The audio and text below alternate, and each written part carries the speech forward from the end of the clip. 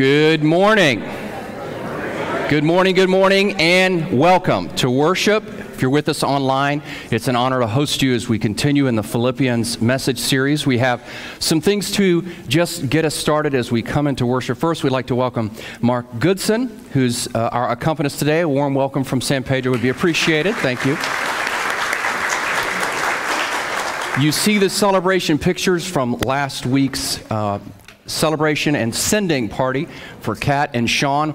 We also not only want to affirm them, but the fellowship team who put all these great events together. Can we just take a moment to thank the fellowship team and Rose Solis, the, the deacon, over that? A lot of work. It's a lot of work. And you saw, hopefully, before you came in, scrolling, some of the pictures we're celebrating. Uh, just a few years of marriage. I think it's five or ten of Betty and Jim Hayes today. So the flowers are in their honor.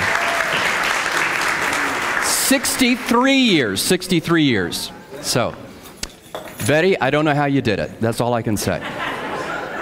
Welcome to worship. We continue with the Philippians series. Let's prepare our hearts and minds for worship as we listen to our opening prelude.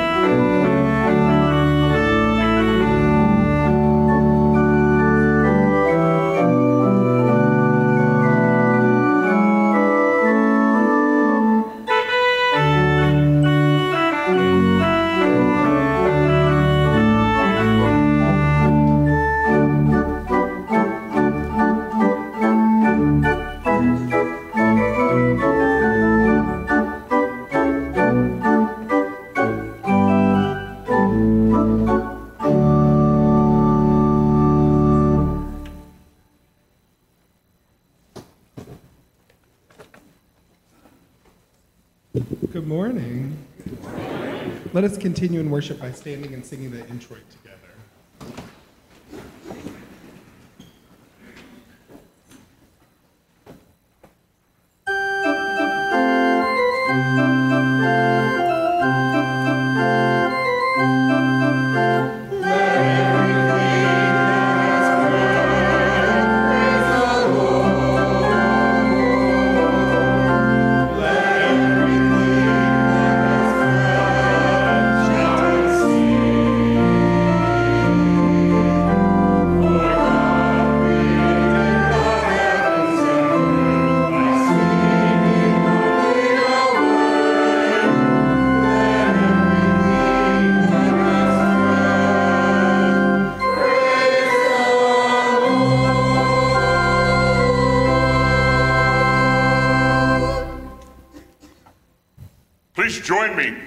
Call to worship Grace and peace to you from God our Father.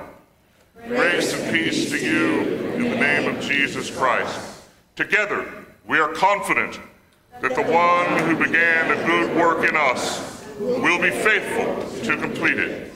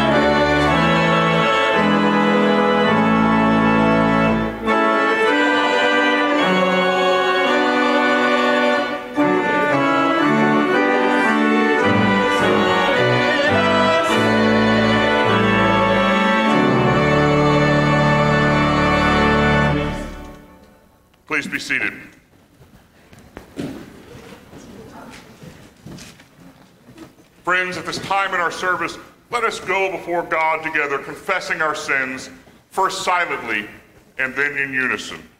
Let us pray.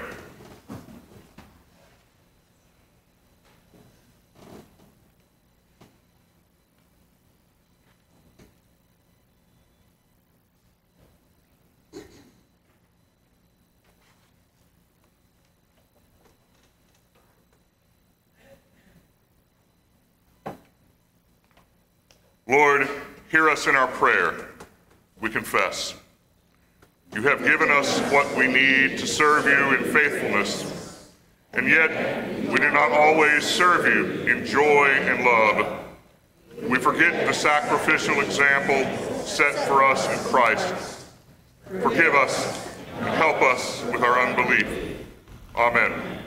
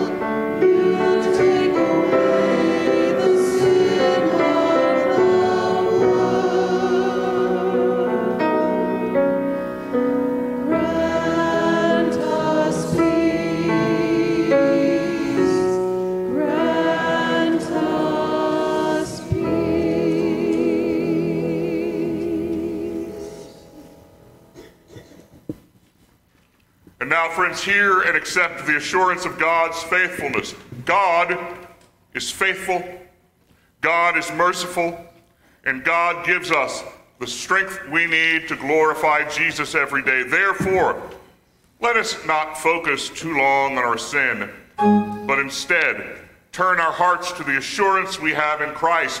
We are forgiven. Our sins are remembered no more. Thanks be to God. Glory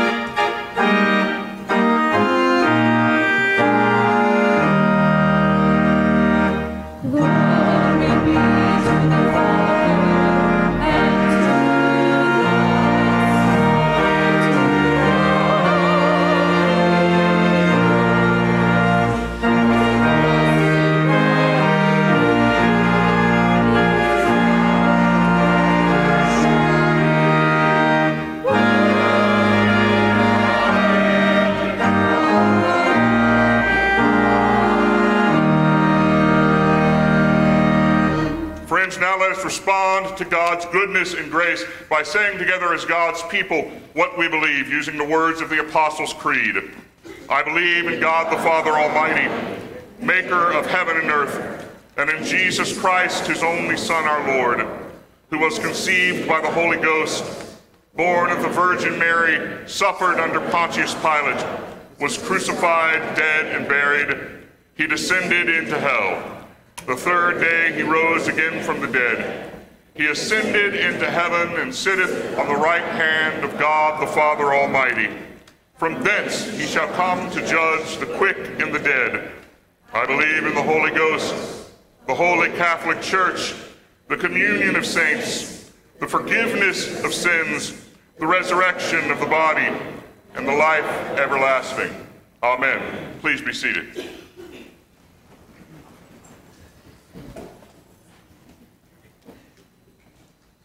Lord,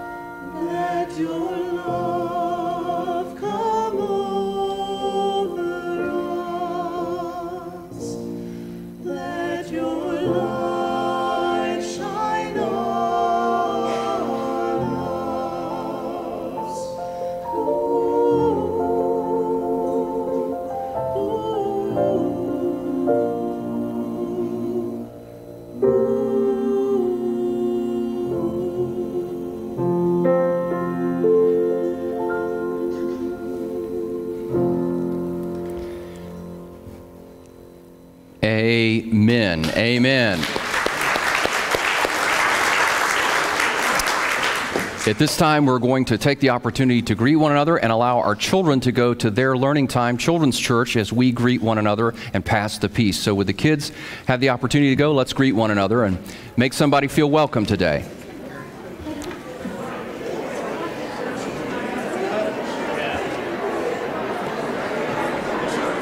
Friends, let us now hear God's word to us today. Our first reading comes from the 12th chap- chapter of the book of Daniel, beginning with verse 3.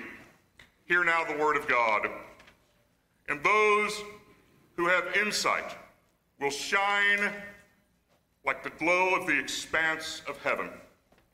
And those who lead the many to righteousness like the stars forever and ever. Our second reading comes to us from the book of Philippians, chapter 2, verses 12 through 18. So then, my beloved, just as you have always obeyed, not as in my presence only, but now much more in my absence, work out your own salvation with fear and trembling. For it is God who, has a, who is at work at you, both to desire and to work for his good pleasure. Do all things without complaining or arguments, so that you will prove yourselves to be blameless and innocent children of God, above reproach in the midst of a crooked and perverse generation, among whom you appear as lights in the world, holding firmly the word of life, so that on the day of Christ I could take pride, because I did not run in vain or labor in vain. But even if I am being poured out as a drink offering upon the sacrifice and service of your faith, I rejoice and share my joy with you all. I urge you, rejoice in the same way and share your joy with me. This is the word of the Lord. Thanks be to God. Thanks be to God. We're moving into our new house and we're striving for organization. Today's message is things to strive for, looking at Paul's letter. We're, we're striving for organization. And I'm going to be honest, I think this is the best shot we've ever had. This is a dream home. It's laid out the way I would design it. Just, I'm grateful. It's got enough room in the garage. My tools are lined up. I'm a collector of tools. I like to tinker. I like to do a little woodworking, work on the cars. I can find everything. We needed something. I went out. I knew right where it was. Organization of the closets. We're getting it right. But we're still playing this game that I like to call, and I bet you play it too, Where Are My Keys? It, it goes like this Can't find my keys. So invariably, Carrie or myself will use the natural intercom of our house. Carrie? Carrie? Carrie? Where are my keys? Or Carrie will yell the same Brian, where are my keys? Or my phone. And you, you play the game where you look in the couch, and then you go around, and then you think, I'm gonna look in the couch again. And then you make that triple return, and you realize, okay, I'm losing my mind. I've got nowhere else to look. We're striving for organization. Paul is giving us what to strive for in his letter to the, to, to the Philippians that's much bigger. Today's main idea is about being faithful. Being faithful. Can you say those two things with me? Being faithful. Last week we looked at Philippians chapter 1. This week we're looking at Philippians chapter 2.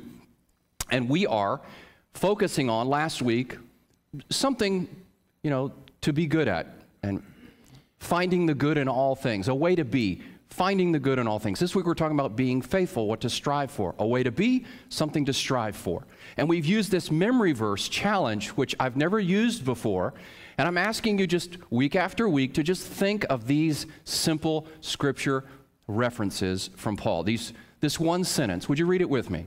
For to me, to live is Christ and to die is gain. Philippians 1:21. We're going to repeat it every week, and I've been focusing more on the to live is Christ than to die is gain. I did a little video devotional this week and sent it out on the daily devotional. You're always welcome to sign up for that if you don't have it now.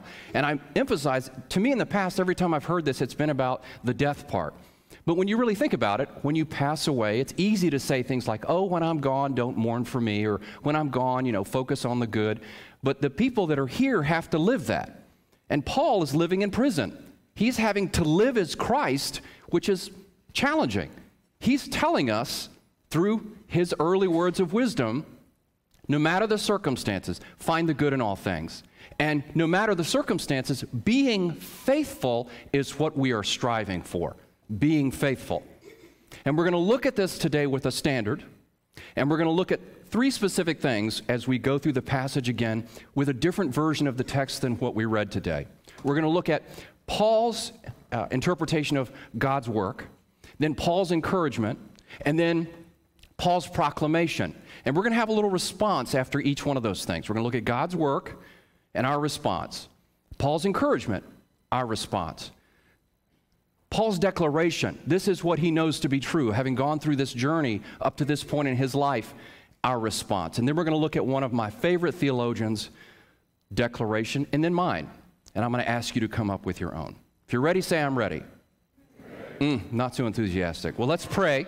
Let's pray and see if we get there. Holy Spirit, come and illuminate the text for us that it would be real, that it would be something that not just we comprehend, but that we strive for. This notion of being faithful. That through all the things of life that we strive for, whether it's success or economic security or love in our family or health and wellness, whatever we're striving for, may we see the pinnacle of what Paul is challenging us with to be faithful in all circumstances. We trust, Holy Spirit, that the word would come alive for us through your doing something supernatural in us, opening our minds and our hearts to the truth. We depend on you, Holy Spirit, for understanding. Illuminate the text for us today. In Jesus' name. In dependence upon you, Holy Spirit. Amen. Remember that Paul's writing his letter with two mindsets. He's confident and he's committed. He is confident the gospel will take root, it will spread when it is preached. It's just a matter of time. And remember, by some estimates, Paul didn't see any results for seven years. So Paul is confident, no matter what's happening in his life, no matter what's happening in the lives of those he is teaching in the early church, the gospel will spread when it is preached. And he is committed to preaching the gospel no matter what. He's not writing about his own circumstances. He mentions, we read last week, you know what's happening to me? I'm in prison, it's not fair.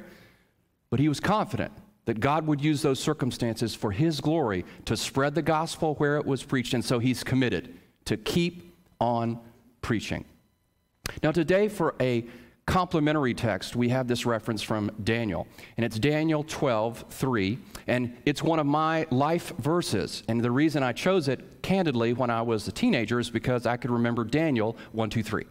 Daniel 12, 3. And here's what it is Those who are wise shall shine like the brightness of the sky. I love the imagery. I just love the imagery.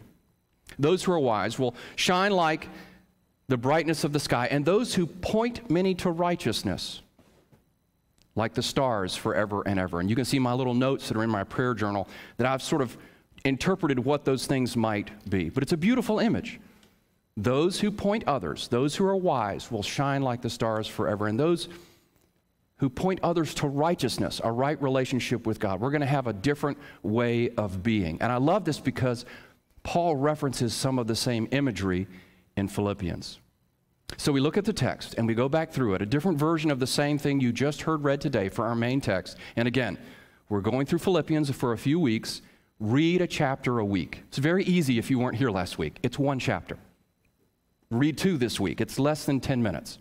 This letter is poignant and it's challenging. Paul is writing from prison and it's considered his most joyful letter. Here is Paul's understanding of God's work, what God is doing. Work out your own salvation with fear and trembling because God is at work in you, enabling you to both will and to work for his, his good pleasure. This is what God is doing in us. God is working through you and me, so we've got to work out our salvation based on what God is doing. For those of you who think that the journey of faith is about going and finding yourself or discovering some great thing, striving for wisdom on high like in a mountaintop, that is not what Paul is teaching. God works first. Before time began, God was at work for His good purposes to work out things through you and through me. So let's take a moment, take a breath, and have our response be a prayer. Because we can't do this. If God's the one who's doing the work, I've got to respond by struggling through what I believe to be true. And the easiest way for me to do that is to surrender through prayer. So take a minute and look at this prayer and consider how you would do it in your own life. But I'm emphasizing God's faithfulness, not mine. Because I know where my faithfulness is. It's good on some days, not so much on others. Something frightens me, I'm not sure that I'm faithful. So, would you pray this with me? And we'll take a moment to just pause and let this sink in. Would you pray it with me? Help me believe in your faithfulness.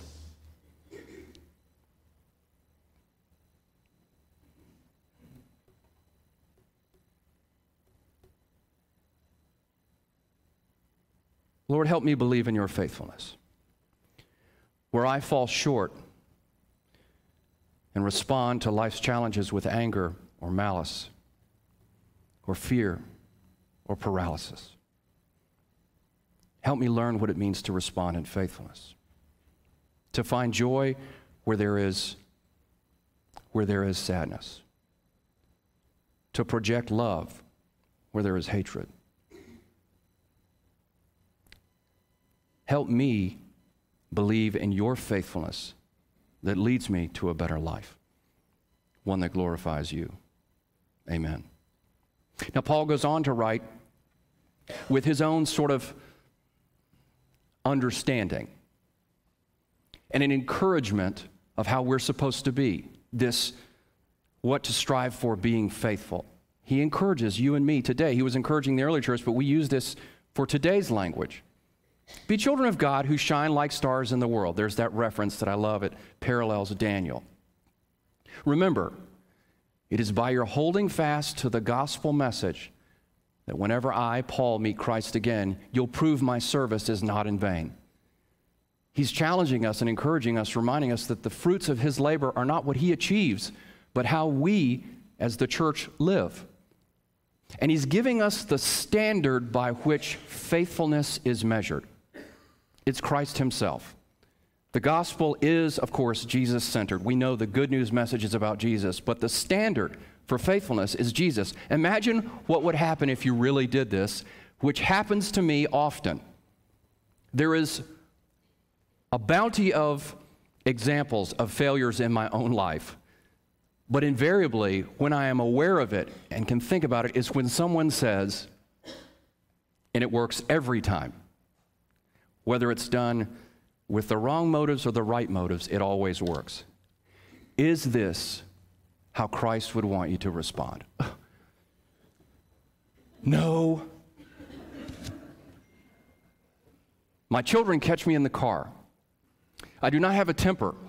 It's kind of a, a lot of people think that I would because I'm kind of a high running energy person, but I grew up with no temperament, and the, there was never, my father never raised his voice or got angry. Um, it was a very calm. I'm very grateful for the parenting that I had, and I kind of operate the same way, except when I'm in the car. And you know, San Antonio tests me to the limit.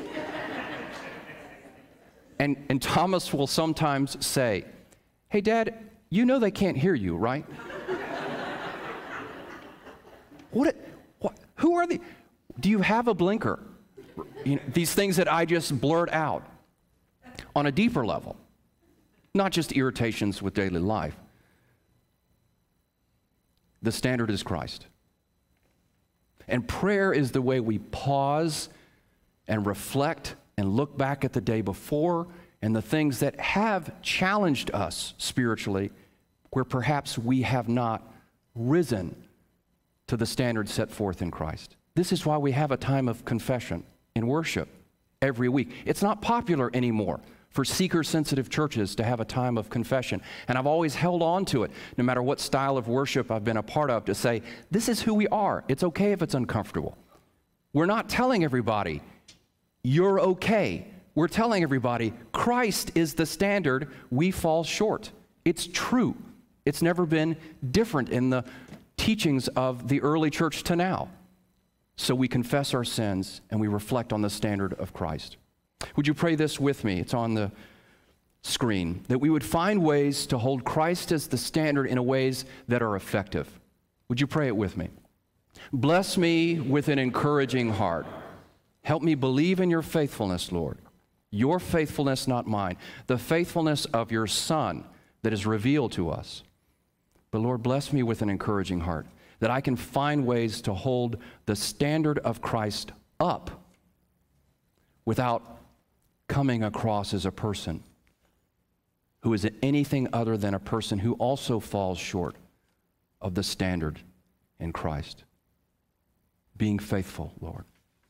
Help us strive for that. Paul then comes back with his own proclamation, and I think it's beautiful. It's one of my favorite pieces of scripture in all of Paul's letters because, I, again, I love the imagery.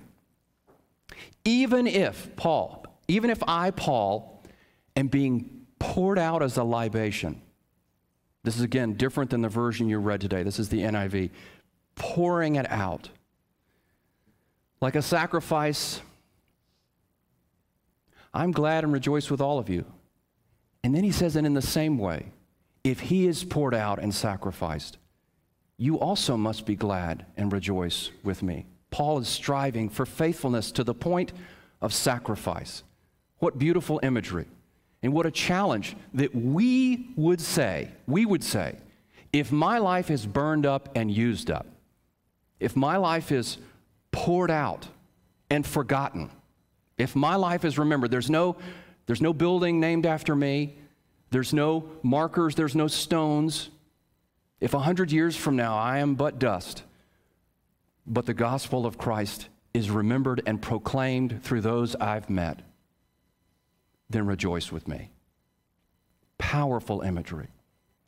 Paul, having no idea of where his words would go 2,000 years later, sitting in a prison, thinking realistically, this is it. I'm going to write a joyful letter. And I'm going to say, if I'm lost and forgotten, but the message goes on through you, rejoice with me, for it would have all been worth it. A prayer in response. Consider these words and consider what it means to say it. To take a moment and to have one of those, I'm making a proclamation and I'm planting my flag in the sand and I'm saying, whatever happens, Lord, pray it with me. Help me do what trust in you requires. Now, we have examples, and last week I gave you the example of Sadiq and his wife who was killed, and Sadiq went on to preach a message of forgiveness through that tragedy in his own life. This is a quote from one of my favorite theologians, and it is Dietrich Bonhoeffer. Would you raise your hand if you've ever heard the name Dietrich Bonhoeffer? Great, okay. For those of you who have not and don't know the story, maybe, Dietrich Bonhoeffer was a Lutheran theologian, and his prominence unfortunately came into being during the Nazi regime. And so he was one of the vocal critics. And when it became apparent that the Nazi regime had even infiltrated the church, he established a way of being faithful that emphasizes God alone as the head of the church. And in one of his famous books about discipleship and following Jesus, for all his eloquence, and translating German to English is just dry. He has these profound moments of clarity in his writing that are not so complicated. And this is one of those statements. No one should be surprised at the difficulty of faith because it's not finding your keys. And you know, we have things to help you today if you lose your keys. Apple has come out with a little tag that you can put on your keys and if you lose your phone, you can go to findmyphone.com and, and Apple will actually, and I've done it, I've used it, I've lost my phone and I've gone on there and found the GPS and oh, it's in my house, it says it's in my house, and I turn the ping on and it starts beaconing to me and I find it invariably where I did not look. Striving for organization is one thing, striving for faithfulness is another. And nobody here should be surprised. It's hard because the standard is Christ. The thing that we look to and look for is not complicated. The revealed Christ is in your Bible. There is no mystery. Different interpretations of the same person, but it's there for all to discover. The standard of Christ as the faithful one is in your Bible. Different interpretations, but clearly laid out. That's why it's important that you read and reflect for yourself. Read Philippians chapter 1. Read Philippians chapter 2. Hear Paul's understanding of Christ is the faithful one, no matter what. Find the good in all things. No matter what. Being faithful as Christ, who is the standard for us. That's what we should strive for. And then come up with your own proclamations that challenge your understanding each day. This is mine in response to all of this. Where the gospel of Jesus Christ is lived, and I wrote this a long time ago and put it in my prayer journal, and the second time I read it, I got nervous because I realized what I'd written. Where the gospel of Jesus Christ is lived, believers will pray for the will of God to be done through them no matter the cost. This is where it hits us if my life is poured out like a libation, if my life is remembered no more, if all the things I've strived for and sweated for and used as a standard of success I realize are in vain, and the only thing I got right in this life, and it's all forgotten, but Christ is proclaimed as the source of salvation, then rejoice with me. If there's no marker on my headstone, if there is no awards, if my funeral is not attended, rejoice with me if I held true to one simple idea, no matter what happens. Being faithful with Christ as the standard is the measure of what we should strive for. Would you say our memory verse together with me again? And we'll close today's message. Let's read it together. For to me, to live is Christ and to die is gain. Holy Spirit, come and sink into our hearts the message that comes from the saints who have come before us. There are many who have attended San Pedro who the next generation of saints will not know by name. Whether they have a plaque or a marker, or whether they have simply been here and faithfully served for your glory, that they were poured out like sacrificial offerings, is what we rejoice over today. And that we should one day join them, whether it's today, tomorrow, or in years to come. We will say, to live is Christ, to die is gain. May we trust that the words from the Apostle Paul are relevant for us today. For however we live, that we would glorify the believers who came before us is not our aim, but to glorify you alone. So we trust that for your glory alone we exist, and we will hold faithfulness against the standard of Jesus Christ as the way of life. Be glorified by your people today who respond to your word in faithfulness. In Jesus' name, amen.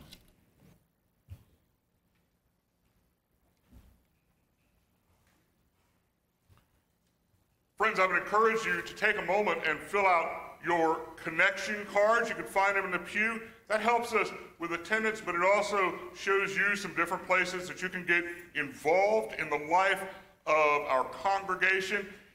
If you're a member and you're here each week, just put your name on it. We don't need your address each week, your email each week, but just if something changes, let us know and we can update it in our records. This week, um, we're asking for some help. And I don't know why my slide is not up there, but um, there's going to be a reception following a memorial service next Saturday. It's the memorial service for my mom. Betty Hayes needs some help planning that service, getting things together for that service. If you would, you can fill it out um, on the connection card and, and, and forward that to the office. You can put it in the tray in the back, or I imagine Betty will be sitting in the narthex um, and you can talk with her there as well. Let us continue our time of worship as we give God thanks for the many gifts that He has given us as we respond with our prayer of dedication. Let us pray. Heavenly Father, we offer our thanks for the many gifts that you have given us, for the many ways that you have blessed us in our lives. We ask that you take these offerings and use them to build your kingdom. We ask that you take our very lives and use them to do the work of your kingdom in this world. These things we pray in Christ's name. Amen. Now let us continue in prayer as we go before God with the prayers of the people and the Lord's Prayer. Let us pray. God of healing, God of wholeness, as the world is opening, people are traveling, and our faces are once again being seen from behind our mask. It would be easy to forget where we've been, what we've learned, and who we've lost. Help us, Holy God, not to be so desperate to move forward we fail to appreciate the present. The communion of friends gathering, sounds of children playing together, the open road vacation adventures. Help us, Holy God, not to be so desperate to move on that we neglect to pray for those still suffering. The businesses that are forced to close, employees laid off, families grieving loved ones lost, patients still waiting for renewed health. Help us, Holy God, embrace the lessons we have learned, the grace we have received, and the hope you offer every day, but especially, especially in the tough and tragic days when we lean on our faith to get us through. You are here for us, God and we are grateful. Help us be here for each other, acting as your hands and your feet in a hurting world. Help us, O oh God, to believe in your faithfulness. Bless us, O oh God, with an encouraging heart Help us, O oh God, to do what trust in you requires. Heavenly Father, we remember those who are ill. Bless them with healing. Be with those caring for them. Bless them with wisdom. We remember those who grieve this day, especially Ed and Cheryl and their family. Grant them your peace that passes all understanding.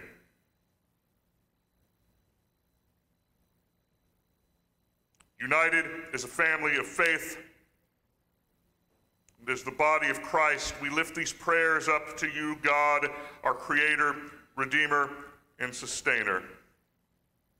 Finally, hear us pray the prayer that Christ taught us saying, Our Father, who art in heaven, hallowed be thy name. Thy kingdom come, thy will be done, on earth as it is in heaven. Give us this day our daily bread, and forgive us our debts, as we forgive our debtors. And lead us not into temptation, but deliver us from evil. For thine is the kingdom, and the power, and the glory forever. Amen.